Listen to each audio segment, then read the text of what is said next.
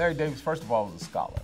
He's an academic through and through. Thoughtful, sort of direct plainness to him. He had a way of making people feel as if important issues were their issues, not just somebody else's. He was an interesting character. Dr. Davis was like that cool uncle. Dean Davis was kind of intimidating. If Larry was to look up and say, Valerie, can I see you in my office for a minute?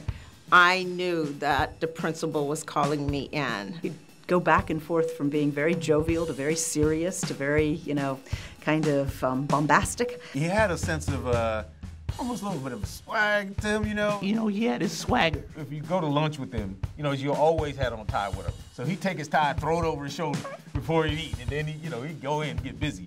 But uh, you know, he's gonna stay sharp. He's gonna keep that tie, keep those ties clean. I don't think I ever had a lunch with Larry uh, that didn't leave me with a, a new thought or two.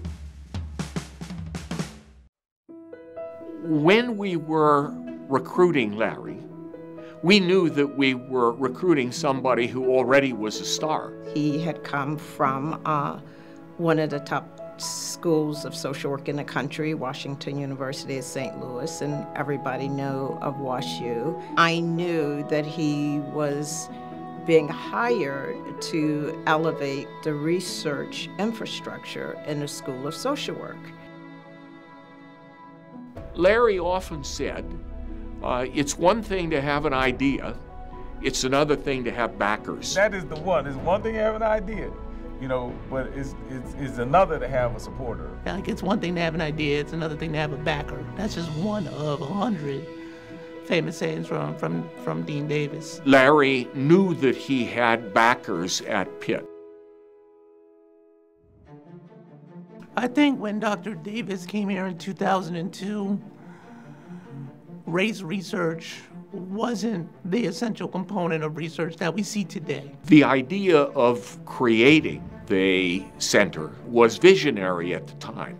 No one else in the country had a center like the one that Larry founded and uh, then built. I mean, he was crisp. He was incredibly proud of the fact that it existed and that Pitt supported it. He was really adamant that it have race in the title, that it didn't get watered down to be diversity or some other more generic term. On the scholarly side, you can just say, well, and then he created a journal to go along with a uh, center.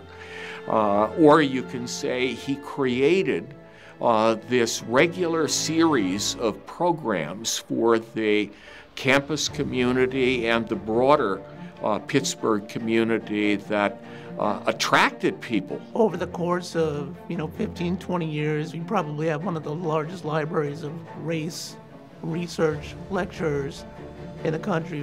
One of the biggest achievements uh, of the center and of Larry was the big conference, the biggest there had ever been that he hosted on uh, race in America. Even, you know, beyond his physical life, he lives on uh, through that work and many others. And in many ways, the event this evening is designed to celebrate that and acknowledge it.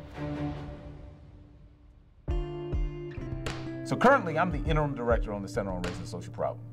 I'm also the, the Vice Provost for Faculty Diversity and Development. So one of my highest priorities, particularly as it relates to the center, is getting a director, a new person who will come in, who will take the foundation that we have, build on it, and really expand the work uh, far beyond where certainly I'm able to take it and even beyond where uh, its founder brought it to. Larry E. Davis played such a significant and critical role in my professional and career development. I think my greatest academic accomplishments are going to be coming in the future.